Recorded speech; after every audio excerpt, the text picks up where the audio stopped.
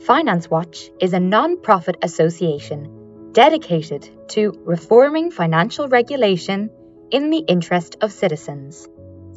Our work covers many key topics, including sustainable finance, public finance, stability and supervision, digital finance, and retail and financial inclusion, which is the focus of this video.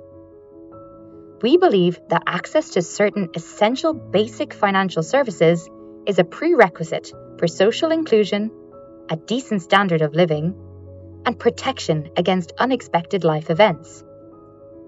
In addition, it is crucial that consumers of financial services are treated fairly and are protected from malpractices by firms that can cause them financial harm. The reality is that today, many vulnerable people across Europe cannot access the financial services they need, and there is a lack of adequate consumer protection in the retail financial services market. We want to change that. Through our Retail and Financial Inclusion workstream, we are dedicated to bridging the gap to financial inclusion and helping to shape a financial system that is safe, fair, and empowers people. This is no small task, but by breaking the problem down into its component parts, we are able to identify where small changes to EU rules can make a big difference.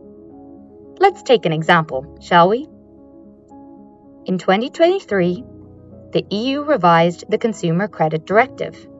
The goal of the Consumer Credit Directive is to make the EU consumer credit market safe by, for example, requiring responsible lending practices by firms and helping you make an informed choice if you sign up to a credit agreement.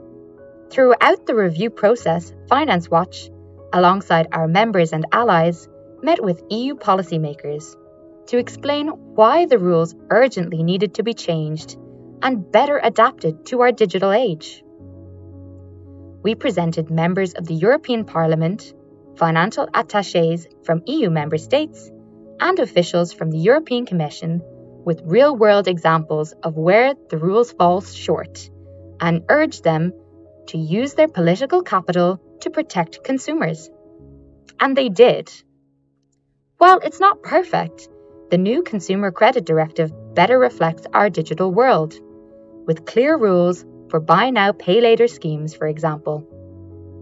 It clarifies the data that creditors are not allowed to use when assessing a person's creditworthiness, such as information on their ethnic origin, political beliefs, health data, or social media data.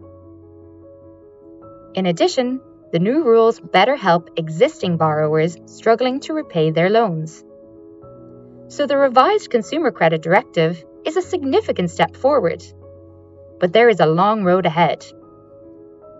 In 2024, Finance Watch will be working on the Open Finance Framework, the Payment Accounts Directive, the Digital Fairness Check in EU consumer protection legislation, and the Mortgage Credit Directive.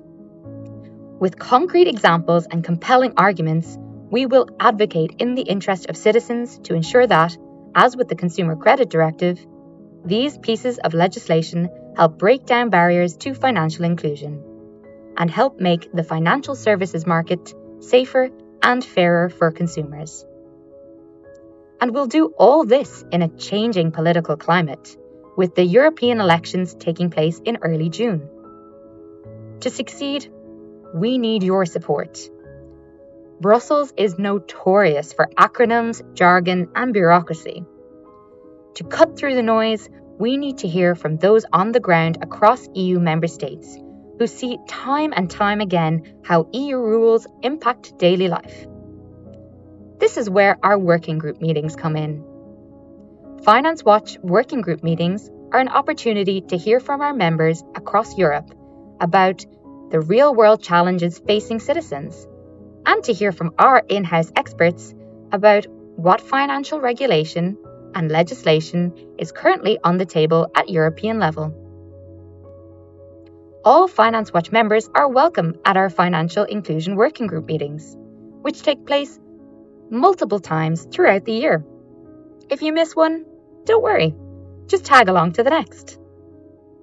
That's not all.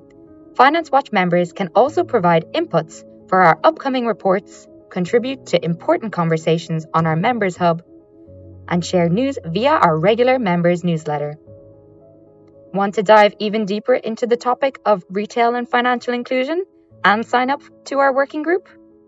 Reach out to Peter Norwood, our Senior Research and Advocacy Officer for Retail and Financial Inclusion.